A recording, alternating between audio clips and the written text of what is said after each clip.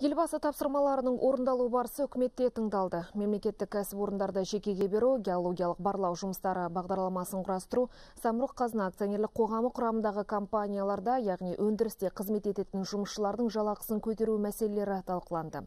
Сонымен қатар Қазақстан жібек жолы халықаралық деңгейдегі көлік логистикалық жүйесін құру тапсырмасы мен кендірлі демалыс орталығын жетілдіруге қатысты ұсыныстар сөз болды. Бұдан бөлек баламалы табиғи ресурстарды қолдану саласындағы отандық ғылымды дамыту жайы қаралды жиынды қорытындылаған үкімет басшысы президент тапсырмаларының тиісті деңгейде орындалып жатқанын атап өтті. Ал құзырлы мекеме басшыларына аталған мәселелерді уақытылы орындау тапсырылды.